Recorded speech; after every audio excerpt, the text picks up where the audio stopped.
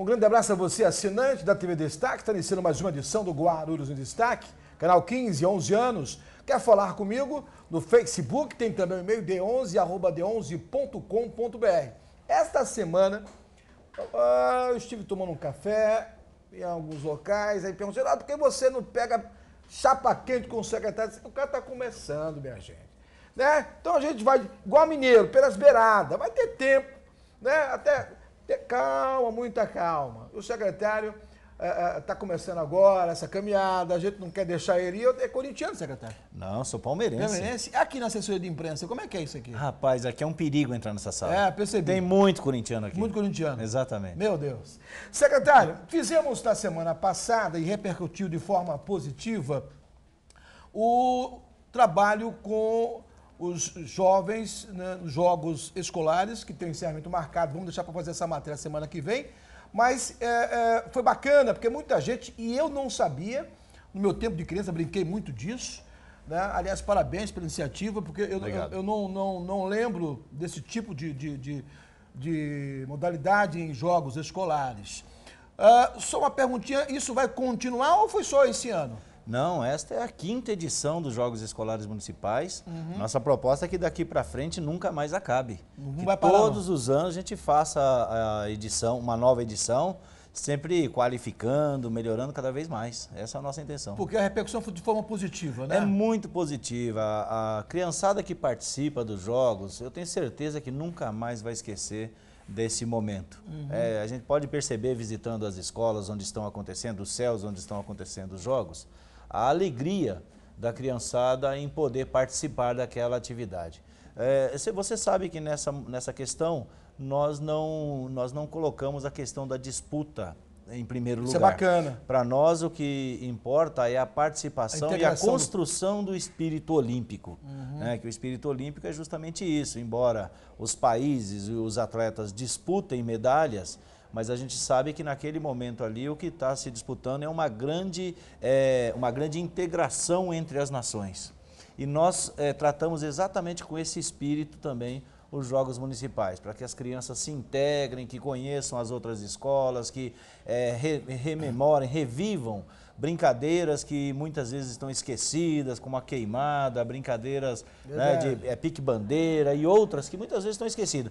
Aliás, tem uma sugestão para o próximo ano, já falei com a Sandra Soria, que é a coordenadora dos jogos, tá. nós vamos colocar o taco. Boa. Você lembra do taco? Jogou muito taco? Sim, meu E Deus. hoje não tem mais. Não tem mais. Então nós vamos incluir como uma modalidade de disputa o taco dentro do ginásio de esportes. Bacana. Acho que vai ser bem bacana. Então é uma forma de recuperar é, todas essas brincadeiras de infância, mas que na prática, que na verdade elas são bases de outros esportes. Pois é. é? São a, a queimada, por exemplo, a gente sabe que é da queimada que é, se prepara o atleta para o handebol. Sim. É? Agora tem, assim... uma, tem uma coisa, secretário, é, que eu acho interessante. É, por exemplo, vamos falar hoje da escola digital. O, o, aluno ele pode, de maneira sábia, até ter o seu tempo no seu jogo do videogame, mas esse tipo de modalidade faz com que os pais também é, comecem a, a, educar o seu filho para ter um tempo para esse tipo de brincadeira não cair no esquecimento, né? Exatamente, porque naquele momento ali, é, a atividade física, mexendo o corpo, é, participando coletivamente, ele está aprendendo uma série de valores Sim. que só o esporte consegue transmitir. Sim. O valor da, da da participação, do respeito, do respeito às regras, da disciplina e do trabalho em equipe. São coisas que o esporte nos, nos proporciona.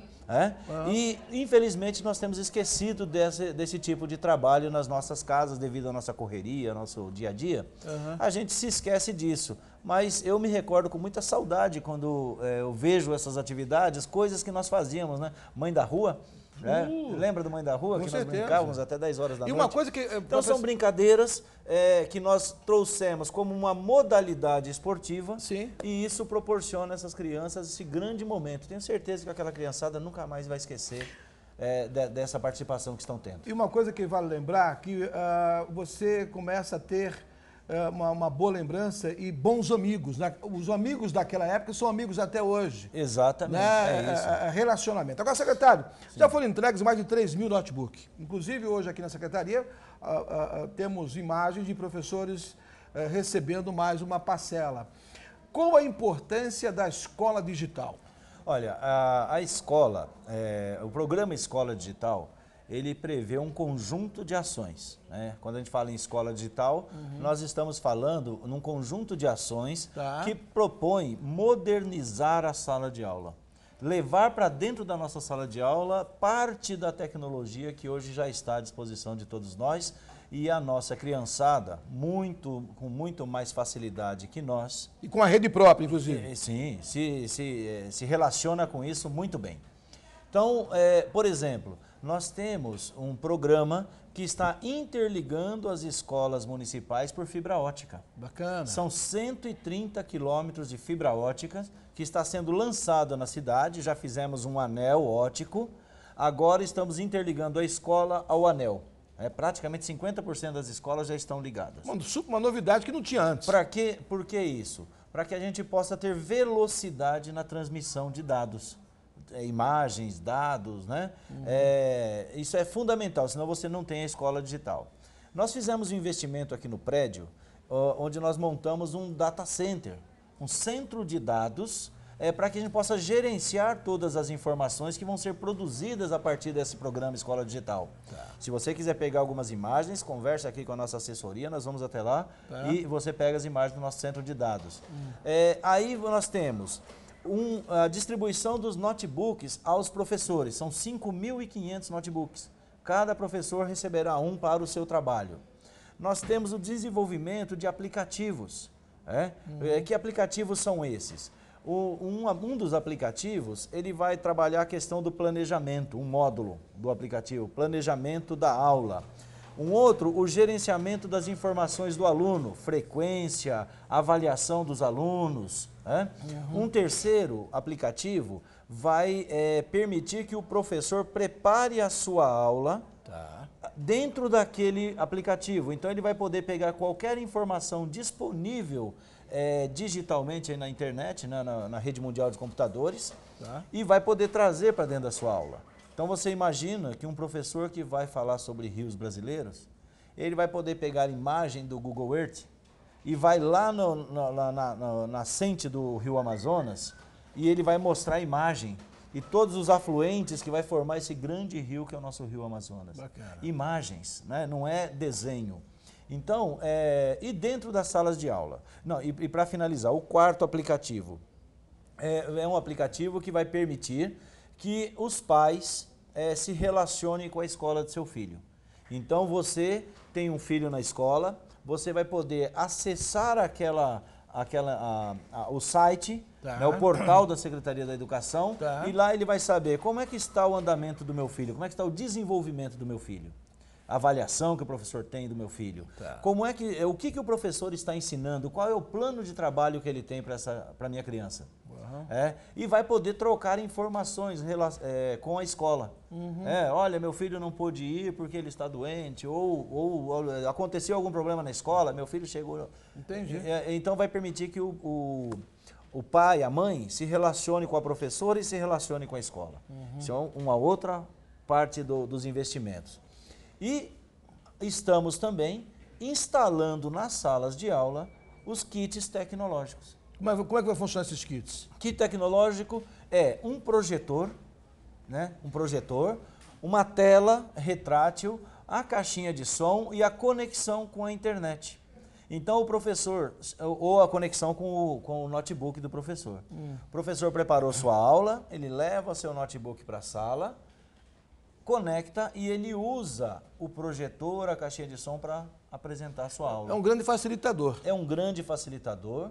De forma alguma nós queremos substituir é, com esses investimentos as metodologias já utilizadas que dão certo. Mas se ganha muito tempo, Mas o né? objetivo nosso é permitir que a sala de aula seja mais interativa e mais atraente para as nossas crianças. Tá. Esse é o nosso é, é um grande investimento que estamos fazendo em escola digital. Esse é o programa Escola Digital.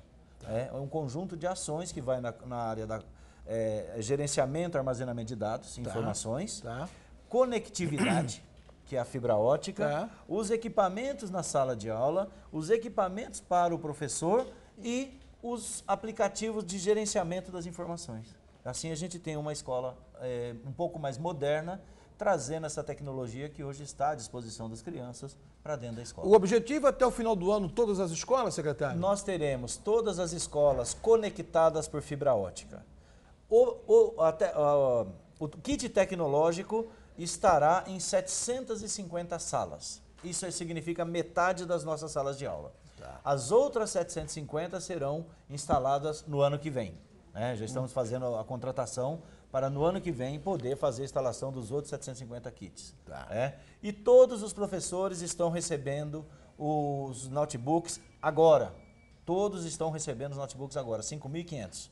É? Uhum. É, e os aplicativos no segundo semestre, agora, a partir do mês de agosto, entram em testes já nas escolas. Bacana. Serão sete ou oito escolas que vai fazer o teste do aplicativo para depois a gente disponibilizar para todas as unidades. Ou seja, é um projeto uma, a, a, que deu certo, a, que era um grande sonho seu de estar tá interligando todas as escolas. Exatamente. É, você esteve numa das nossas escolas. Sim. Eu creio que foi a escola Jorge Amado, no Presidente Dutra. Nós estamos mostrando as imagens. Não é isso? Aí, isso. E a diretora, a vice-diretora, que é a professora Patrícia, está muito feliz com a, presença de vocês lá na escola e colheu todo, todas as informações.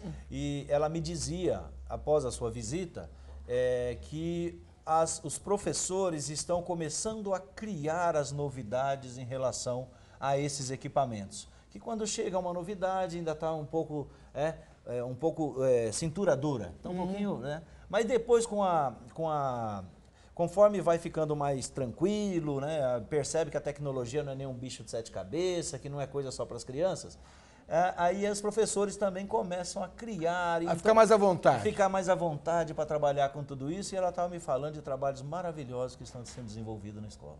Secretário, as suas considerações finais.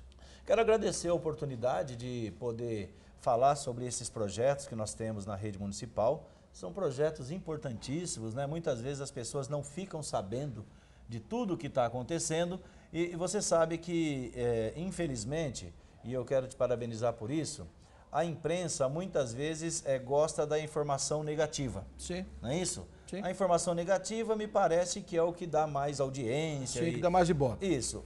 Você está invertendo esse processo, você está é, se dedicando àquilo que tem de positivo aí nas coisas. E eu quero te agradecer e parabenizar por essa visão que você tem da forma de informar as pessoas. Legal, secretário. Conversei, portanto, no dia de hoje com o secretário de Educação do município de Guarulhos, o professor Moacir de Souza. Eu vou fazer um intervalo de dois minutos. Nós continuamos com esse assunto escola digital no segundo bloco. Segura aí, hein? Vou ficar muito chateado se você mudar de canal. Nossa relação vai parar por aqui. Dois minutinhos. É o tempo de você tomar um cafezinho, conversar com a esposa e volta para acompanhar esse assunto aqui de vital importância para o seu dia a dia. Segura aí.